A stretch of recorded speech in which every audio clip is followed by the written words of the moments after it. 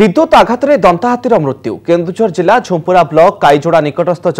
দন্তা হাতির মৃত্যু হয়েছে এক ইলেভেন কেভির তার ঝুলি রয়েছে হাতীটি সেই স্থান দিয়ে যাওয়া বেড়ে তার সংস্পর্শে আসবু প্রাণ হরাইছে বিদ্যুৎ বিভাগের খামখেয়ালি মনোভাব যোগ হাতীটির মৃত্যু হয়ে অভিযোগ হয়েছে ঘটনাস্থলের বন বিভাগ আসি তদন্ত করুছে নিকটরে ঢেঙ্কানাড়ে বিদ্যুৎ আঘাতরে এক দন্তা হাতির মৃত্যু ঘটি নিকটরে বড়ুয়া হাতী মৃত্যুকে দেখি হাইকোর্ট এই প্রসঙ্গে জয়েন্ট ଟାସ୍କଫୋର୍ସକୁ ଏକ ସତ୍ୟପାଠ ଦାଖଲ କରିବାକୁ ନିର୍ଦ୍ଦେଶ ଦେଇଛନ୍ତି ହାତୀ ମୃତ୍ୟୁ ରୋକିବାକୁ କି କି ପଦକ୍ଷେପ ନିଆଯାଇଛି ସତ୍ୟପାଠ ଜରିଆରେ ଜଏଣ୍ଟ ଟାସ୍କଫୋର୍ସ ଉତ୍ତର ରଖିବେ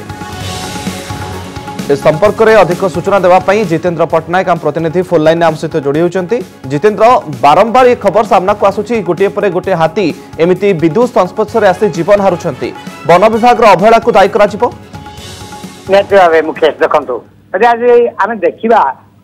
ଏ ଘଟଣା ନୂଆ ନୁହେଁ କେନ୍ଦୁଝରରେ ଏହା ପୂର୍ବରୁ ବି ଚାରି ପାଞ୍ଚଟି ଆସି ବିଦ୍ୟୁତ ଆଘାତରେ ବଢି ଆଜି ବି ଯୋଉ ସକାଳୁ ଗୋଟେ ଦୁଃଖଦ ଖବର ମିଳିଛି କି ଚମ୍ପୁଆ ରେଞ୍ଜର ବସନ୍ତପୁର ଜରିପଦା ଗ୍ରାମ ନିକଟସ୍ଥ ଜଙ୍ଗଲରେ ଗୋଟେ ଦନ୍ତା ହାତୀ ଇଲେଭେନ୍ କେ କେବି ବିଦ୍ୟୁତ ତାର ସଂସ୍ପର୍ଶରେ ଆସିକି ମୃତ୍ୟୁବରଣ କରିଛି ଏବଂ ଆ ପୂର୍ବରୁ ବି ବହୁତ ହାତୀ ମରିଥିଲେ ହାତୀ ମୃତ୍ୟୁକୁ ରୋକିବା ପାଇଁ ସବୁଠୁ ବଡ କଥା ହେଲା କେନ୍ଦୁଝର ବନ ବିଭାଗ ପକ୍ଷରୁ ସ୍ୱତନ୍ତ୍ର ପଦକ୍ଷେପ ବି ନିଆଯାଇଛି ଡ୍ରୋନ୍ କ୍ୟାମେରାର ବ୍ୟବହାର କରାହଉଛି ରାତିରେ ବି ଡ୍ରୋନ୍ କ୍ୟାମେରା ବ୍ୟବହାର ହଉଛି ହାତୀର ଗତିବିଧକୁ ଗତିବିଧିକୁ ସେମାନେ ଦେଖୁଛନ୍ତି କିନ୍ତୁ ତାପରେ ବି ହାତୀର ମୃତ୍ୟୁ ବର୍ତ୍ତମାନ ଗୋଟେ ସନ୍ଦେହ ସୃଷ୍ଟି କରୁଛି ଏ ଡ୍ରୋନ୍ କ୍ୟାମେରା ଦ୍ଵାରା ଯୋଉ ବନ ବିଭାଗ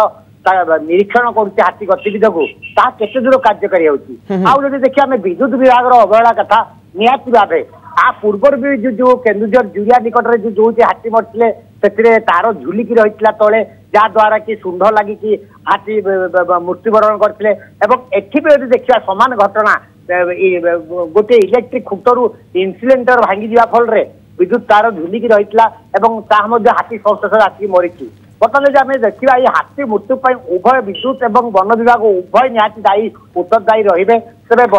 ବର୍ତ୍ତମାନ ଘଟଣାସ୍ଥଳକୁ ନିଜେ ଡିଏଫଓ ମଧ୍ୟ ଯାଉଛନ୍ତି ଏବଂ ନିହାତି ଭାବରେ ଉଭୟ ବନ ବିଭାଗ ଏବଂ ବିଦ୍ୟୁତ ବିଭାଗ ଇଏ ଦୁଇ ଜଣ ଯାକ ବିଭାଗ ଦାୟୀ ରହିବ କାରଣ ଗୋଟିଏ ପରେ ଗୋଟିଏ ଏମିତି ମାମଲା ସାମ୍ନାକୁ ଆସୁଛି ତେଣୁ ଅଧିକ ସଜାଗ ହେବାର ଆବଶ୍ୟକତା ମଧ୍ୟ ରହିଛି ବହୁତ ବହୁତ ଧନ୍ୟବାଦ ଜିତେନ୍ଦ୍ର ଆପଣଙ୍କର ସମସ୍ତ ସୂଚନା ପାଇଁ